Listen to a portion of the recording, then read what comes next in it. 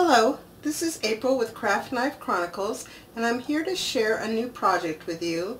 It's what I call the Secret Garden Star Book. Now this book was created with Graphic 45 Secret Garden paper. I used both the 12 by 12 paper pad and the 8 by 8 paper pad and it also features some Spellbinders Shapeabilities dies, which we'll see as we look at the individual pages.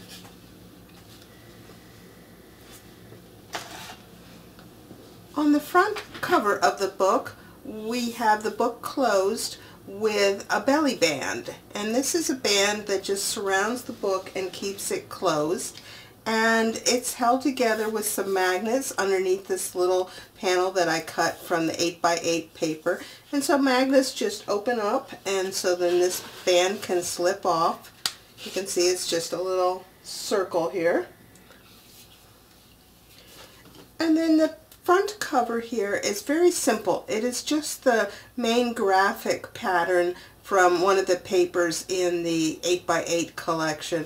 I wanted to keep it flat so that when the star book opens up, which we'll see here in a few minutes, it can open up neatly that there isn't too many embellishments in the way of creating the star. So that this is kept very simple. I have framed it with some green cardstock just to set off the image.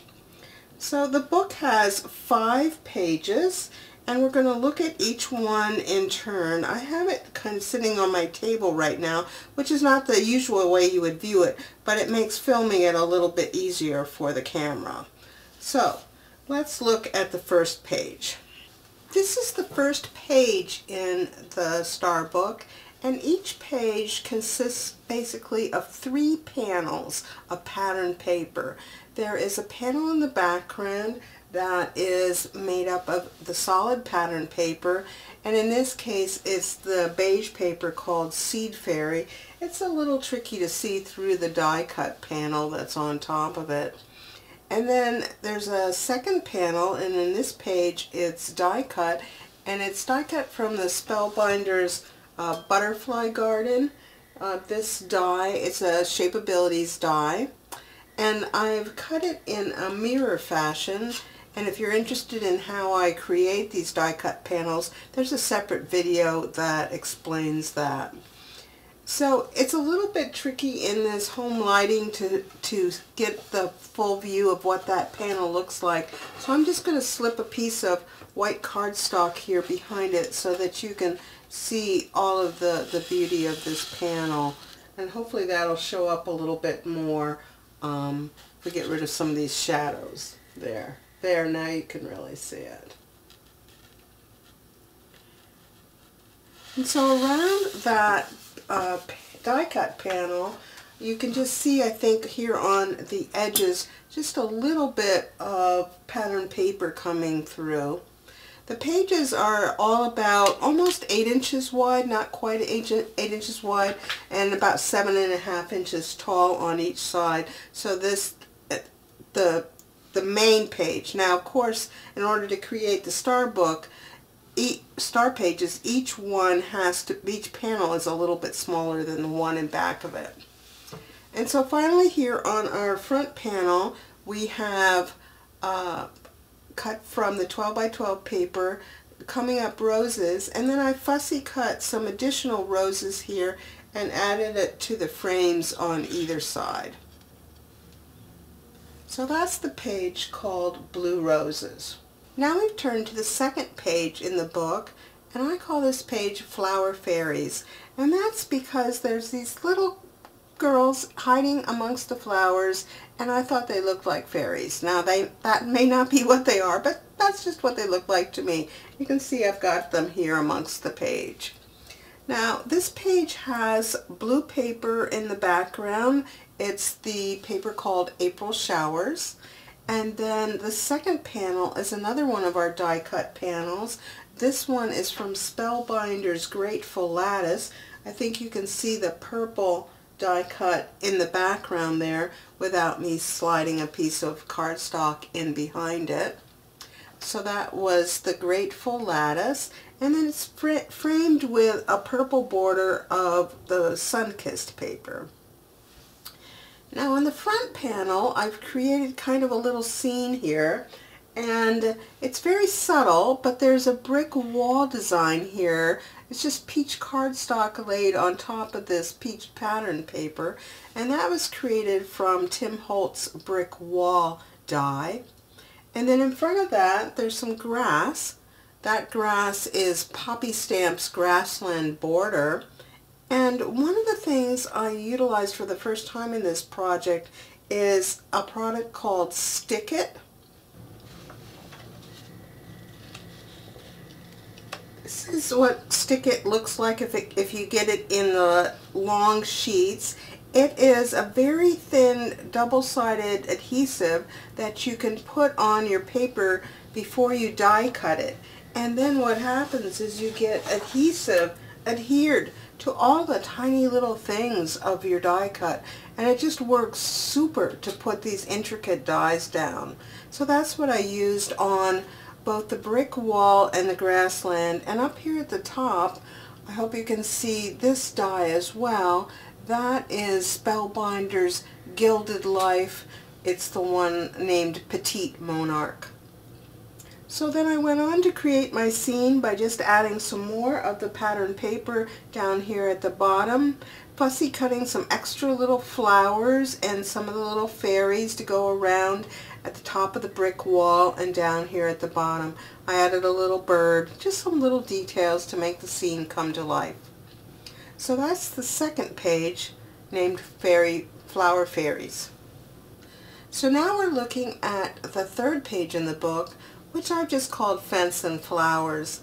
I created this page just doing some fussy cutting from the large graphic paper from the 12 by 12 pad which has a scene with this fence in the front here that you see and then this little girl in the flowers behind here. So just by carefully cutting apart that 112 by 12 page, adding some extra flowers to things, I was able to create this, this scene.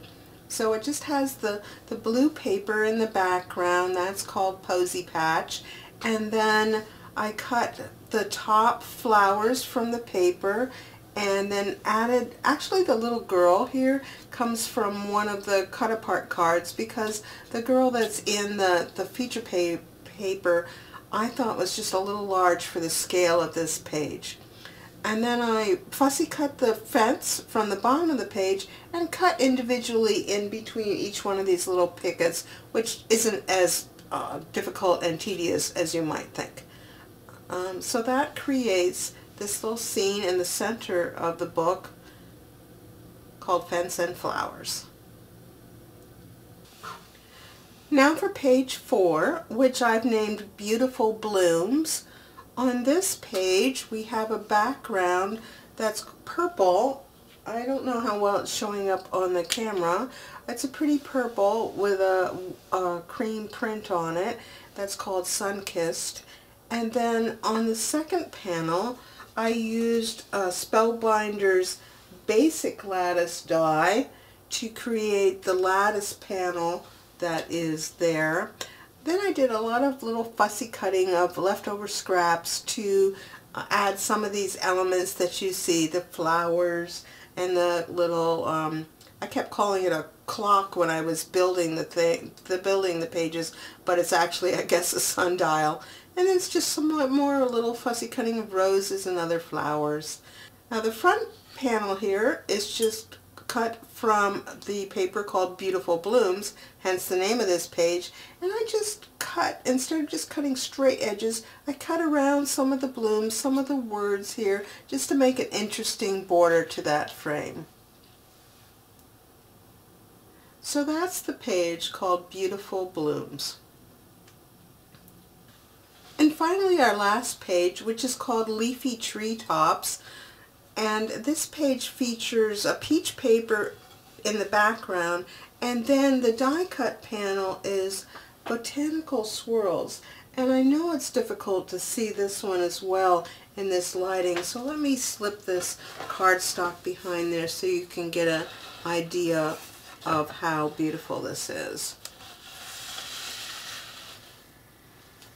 So hopefully that is showing up pretty well so you can see how that comes. And again, I created these mirror die cuts just with a special technique uh, using my Big Shot die cutting machine. And there's a video about that if you'd care to see it. And then on the front, I used some leftover paper to create this border. And then again, uh, just cut interestingly around the edges to create the frame to accent some of the birds and the bird and the bird cages. So that is the page called Leafy Treetops. Here's the back cover. You can see it's not particularly exciting. I just wanted to feature some paper that went along with the front cover and this is actually the back side of the paper that is used, uh, that feature paper on the front, so that uh, in order, and also to keep it nice and flat, so when it opens into the star, it is, um, it works very well. So next we'll take a look at this book in its star formation so you can get an idea of what it looks like when it's on display.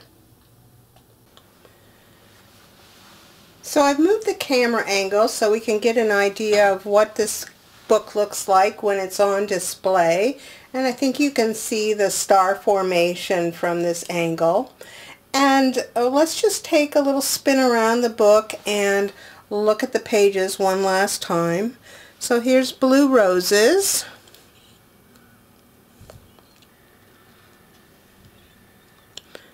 And then the Flower Fairy page.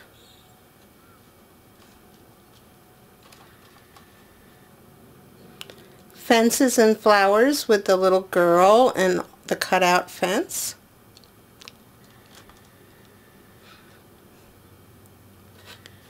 Beautiful blooms.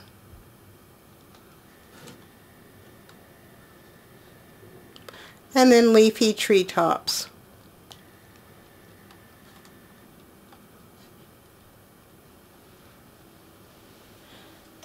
So I hope you've enjoyed having a look at this project. It certainly was a lot of fun to make. And if you'd like to make one of your own, I have a set of videos that I made while I was constructing the project posted on YouTube. And there's also a link to the materials guide that I used for all the pages um, in the book. So thanks for watching and bye for now.